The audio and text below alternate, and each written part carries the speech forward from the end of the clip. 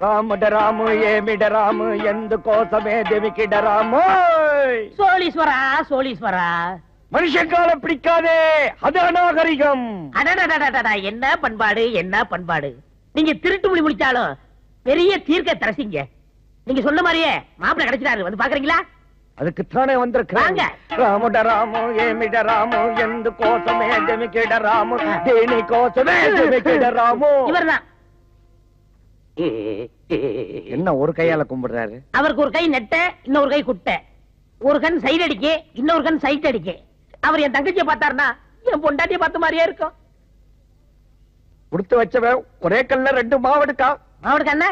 ஒரே கல்ல ரெண்டு மாங்கா அண்ணன் அவரை பத்தி சொல்லுங்க. அது மட்டுமா? இவர் உரசி பார்த்தா தங்கம் சிரிச்சா சிங்கம். பாத்தீங்களா? இவர்கிட்ட இருக்கிற சிறப்பு அம்சமே இந்த சிரிப்பு ஒண்ணுதான். ஜெகமெல்லாம் பாதாள கரண்டி போட்டு தோன்னா கூட இந்த மாதிரி பவுசுள்ள மாப்பிள கிடைக்க மாட்டான். நீங்க பேசிக்கிட்டே இருங்க நான் டிகிரி காப்பி கொண்டு வரேன். தம்பி உன்னை நினைச்சாலே எனக்கு கண்ணீர் வருதப்பா. ஏன் சாமி? தேக்கு கட்டியா இருக்கிற உன் உடம்பு சீக்கிரத்துல தீக்கிரையாக போகுது என்ன? சாமி என்ன சாமி சொல்றீங்க? இந்த தையல் இருக்காளே அவளுக்கு செவ்வாய் தோஷம். அப்படின்னா? அவளை கட்டிக்கிறவன் அடுத்த நாளே. அதனாலதான் நீ பிச்சைக்காரன் தெரிஞ்சும் உனக்கு பொண்ணு கொடுக்கறான் ரொம்ப நன்றி சாமி. நான் தப்பிச்சேன். உங்களை என் உயிர் உள்ள வரைக்கும் மறக்க மாட்டேன் சாமி. அம்மா. தாயே. அம்மா. தாயே. அப்பா இப்ப நான் தப்பிச்சேன். சோழீஸ்வரா என்ன காப்பாத்திட்டேடா. கருப்பட்டி வரா. மாப்பிள்ளைக்கு உங்களுக்கு டிகிரி காப்பி போட்டு கொண்டாந்துருக்கேன். இந்தாங்க சாப்பிடுங்க. எங்க மாப்பிள்ளை காணா? ஓடிட்டான். எங்க? பிச்சை எடுக்க. ஏன்? உன் தங்கச்சியை கட்டுறதை விட பிச்சை எடுக்கிறதே மேல ஓடிட்டான். என்னையா சொல்ற? யோ உன் தங்கச்சிக்கு செவ்வாய் தோஷம் இருக்குன்னு சொன்னையா ஓடிட்டாயா? என்னது? செவ்வாய் தோஷமா ஐயோ இப்ப என்னங்க பண்றது? இதுக்கு பரிகாரமே இல்லையா? பரிகாரம் இருக்குது இருக்குது. நாளை காலம் எட்டு மணிக்கு. புத்த காமேஷ் யாகம் செய்ய போறோம். யாக குண்டத்திலே இந்த பொண்ணுக்காகவே பிறந்த மாப்பிளே திடீர் விஜயம் செய்வார். ஆகையினாலே நாளை சாமியார் ரூம் உள்ள போன உடனே. இந்த பொண்ணை மனக்கோலத்தில் அலங்கரிச்சு பின்னாலேயே அனுப்புங்கள். எல்லாம் நல்லபடியா நடந்துடும். முடிச்சிட்ட ஈஸ்வரா. பொண்ணு வேற மணக்குளத்துல இருக்கு ஆமா இந்த சோழீஸ்வர சாமி வாரம்னு சொல்லிச்சு இன்னும் காணுமே அவசரப்படாதீங்க வந்துருவாரு வந்துட்டாரு. கோசமே திவிக்கிடராமோ இனி கோசமே திவிக்கிடராமோ பொண்ணு ரெடியா சாமி பொண்ணு மணக்குளத்துல இருக்கு சீக்கிரம் யாகத்தை வளங்க हम तुम जग कमरे में बंद है कदम मुड़गो புட்டிடுறோம் சீக்கிரம் புட்டுரு ஆ. அப்பா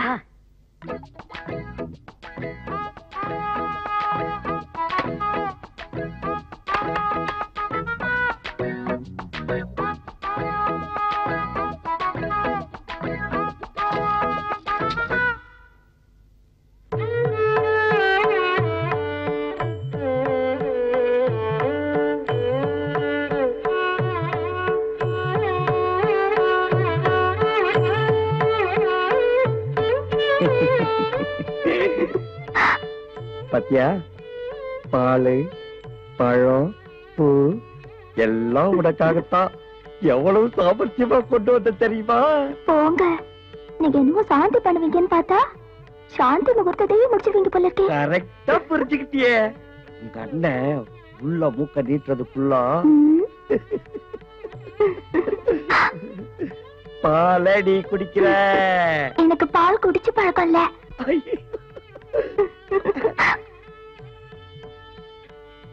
சரி பழத்தையாவது நீ முழுசா சாப்பிடணும். நீங்க பாதி நான் பாதி.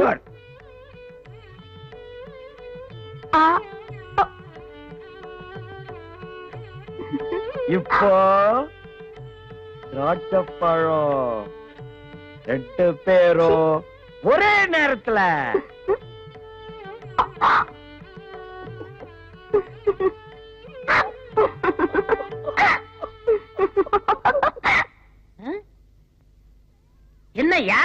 போனாங்க? ரொம்ப நேரம் ஆச்சு சத்தத்தையே காணா. ஒருவேளை மௌன யாகம் நடத்துறாங்களோ? இருக்கு இருக்கும் ஜனவரியா பாப்பா வா. ம். ஆ, இது என்ன யாகம் புதுசா இருக்கு? அதாங்க. யாரா அவன் கரடி பூந்தா மாதிரி? ஐயோ மாமா மாமா மாப்பிள மாப்பிள இதோட நிறுத்திக்கங்க.